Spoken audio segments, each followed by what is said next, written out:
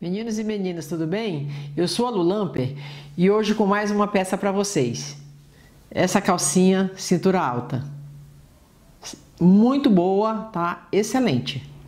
Então vamos começar. Olha, os moldes estão no grupo Lulamper Moldes.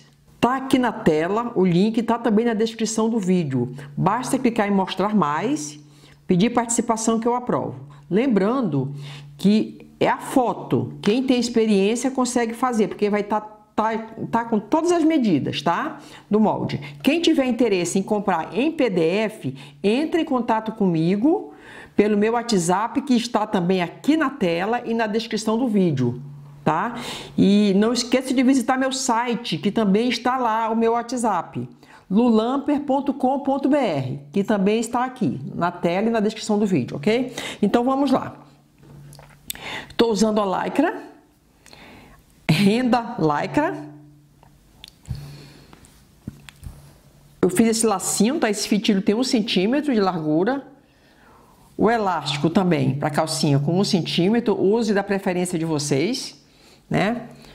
E vamos lá. Precisamos de uma peça né? Olha, vocês vão cortar do mesmo tamanho, tá? O molde não, aumenta nada, do mesmo tamanho. Uma peça dessa, outra dessa aqui também, uma peça traseira, fundo, né? O fundilho e o forro, tá? Vamos começar por aqui. Observem que aqui eu tô com esse detalhe, né? Para a calcinha ficar mais bonitinha, coloquei aqui. Aqui tá a base da renda, olha, a parte da renda. Eu medi dessa parte aqui da renda para dentro meio centímetro e aqui também meio centímetro. Tá? Para fazer um acabamento legal, gente, tá? Isso é estou fazendo na máquina doméstica, bem simples.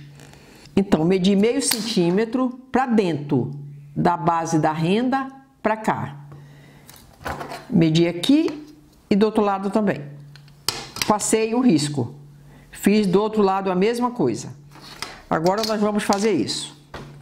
Eu vou colocar para cá essa renda. Olha a posição que ela tá. Ela tá com direito para cima essa renda. Eu vou fazer isso. Virar para cá, tá? E deixar. Agora ficou, olha, direito com direito também deixar aqueles meio centímetro que eu medi para dentro, eu vou deixar a renda meio centímetro para dentro, que é onde eu vou passar a costura por cima do risco. Deixa eu prender aqui.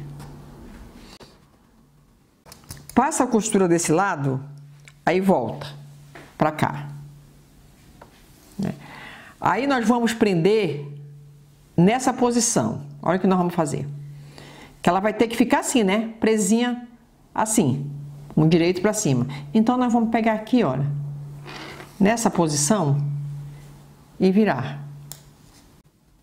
Trazer para cá. Vai ficar assim.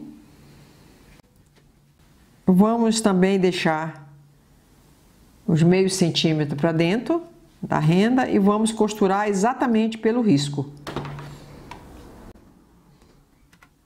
Não esqueçam que a costura, quando fizer, tem que ir esticando, tá? Eu vou fazer isso e a gente já continua. Então, já posicionei essa renda. Observe que a costura ficou para dentro. Eu poderia muito bem só dobrar aqui e passar uma costurinha por cima. Não ficaria legal, no meu ponto de vista, para acabamento. Então, essa costura ficou por dentro.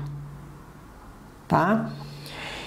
E eu passei já uma costurinha de segurança aqui no, no fundo e aqui também, na parte da renda, tá? Que é para segurar as duas peças.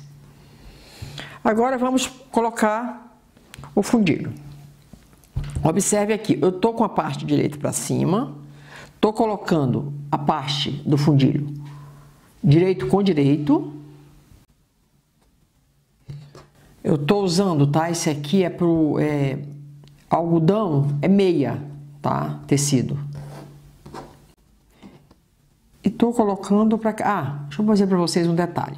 Quando vocês cortarem o fundilho, é, A parte que estica mais, ele tem que ser cortado nessa posição, onde estica mais. As laterais não precisa esticar tanto, é só um pouquinho, ó, que ele quase não tem elasticidade, né? Então, vamos fazer assim, olha. Isso aqui eu já posicionei, agora parte do direito para cima do forro e vou fazer isso aqui. Vou ajeitar tudo direitinho e vou passar uma costura. Ponto. Passou essa costura, tá aqui, né? A costura. Aí vamos fazer isso. Vira. Vamos colocar a parte de trás assim.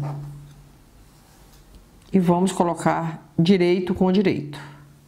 Observe a posição que está. Vamos prender, virar, tá? E vamos fazer isso. Colocar para cá. A parte do direito vai ficar para cá. Ficou o famoso sanduíche que a gente chama, né? As três peças. Aí vamos passar uma costurinha agora, nas duas partes, tá?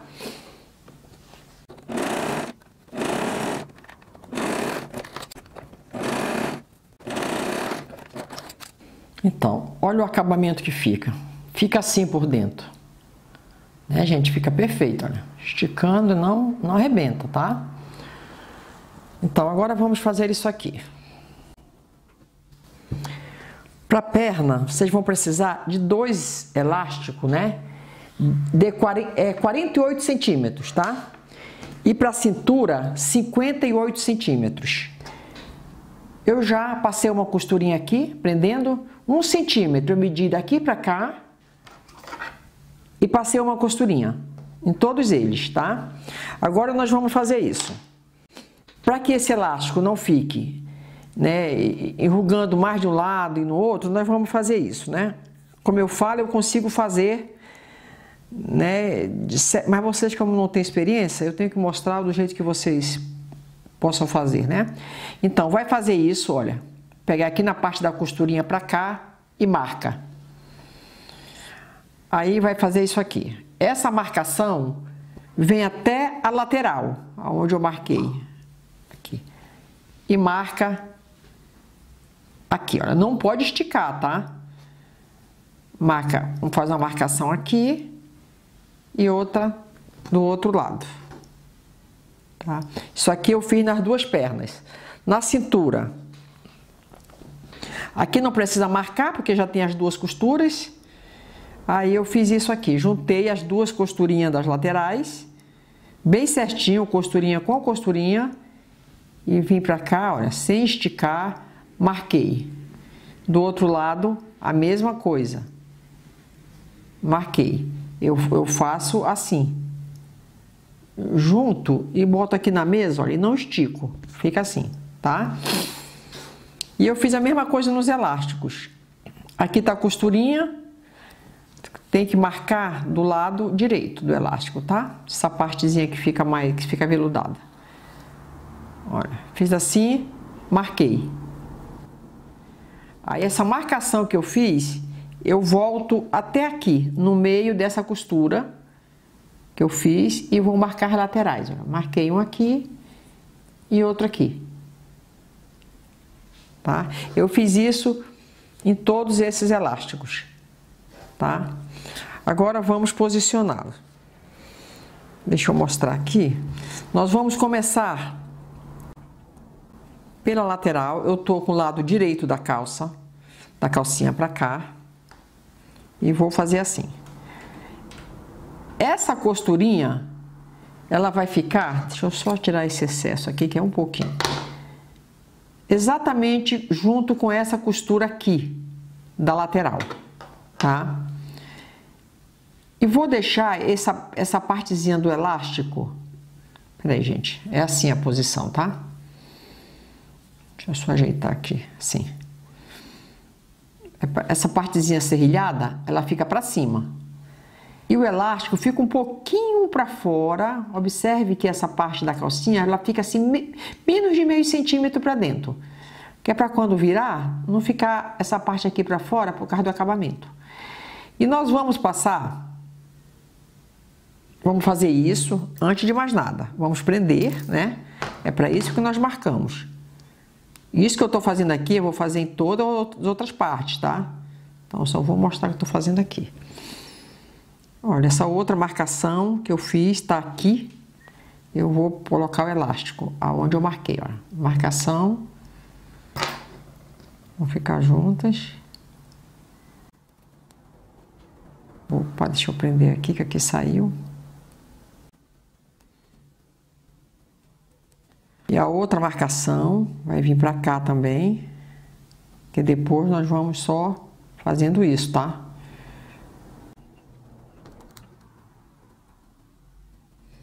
E a outra aqui também.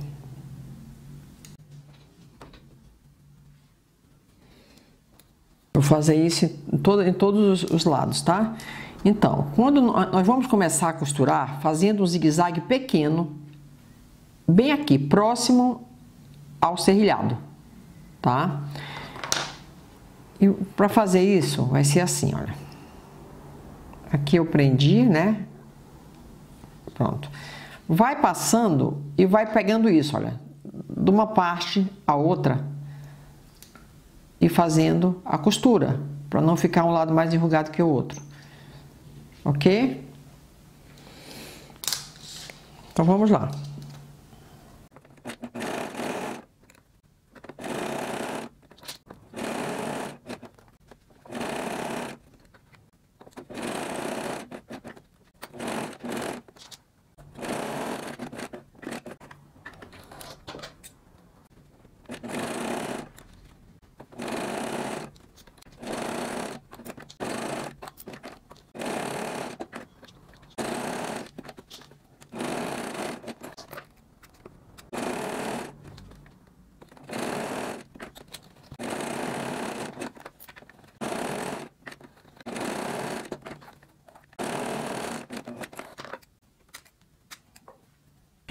Ficou assim, tá? Agora nós eu vou rebater esse elástico.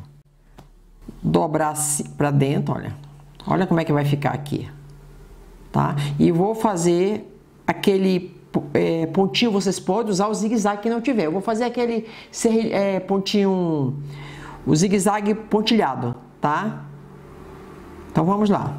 Sempre também fazendo isso, gente, olha. Colocando assim e puxando um pouquinho, vem, puxa de novo, ok? Vamos lá.